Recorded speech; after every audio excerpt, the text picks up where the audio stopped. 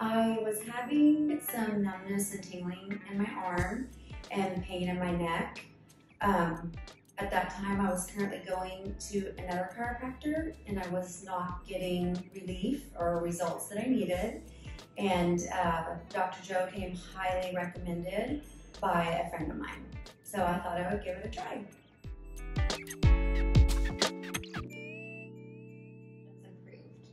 My symptoms have improved 100%.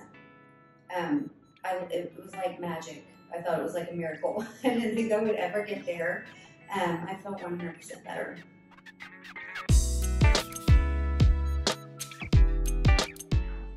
My quality of life right now is definitely back to normal. I'm able to work out again and not have pain, and I'm able to play tennis again.